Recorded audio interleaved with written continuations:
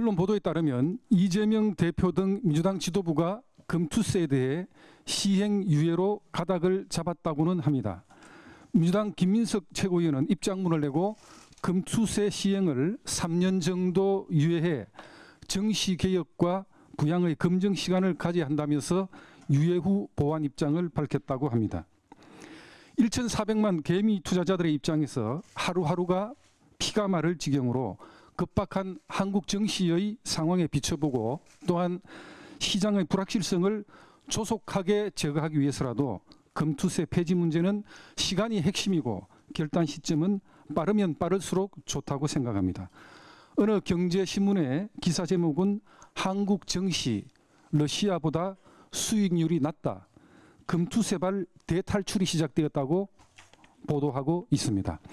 다른 주요 언론은 사설에서 정시 불확실성 키우는 금투세 공방 언제까지 질질 끌 것인가라고 비판했습니다.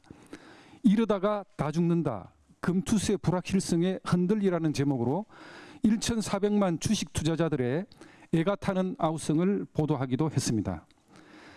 민주당 당내 토론회가 예정되어 있는 9월 24일 금투세 토론회 민주당이 지금 계획을 하고 있습니다만은 그날은 한국 주식 투자자 연합회가 금투세 폐지 건의서를 국민의힘에 전달하기로 되어 있습니다.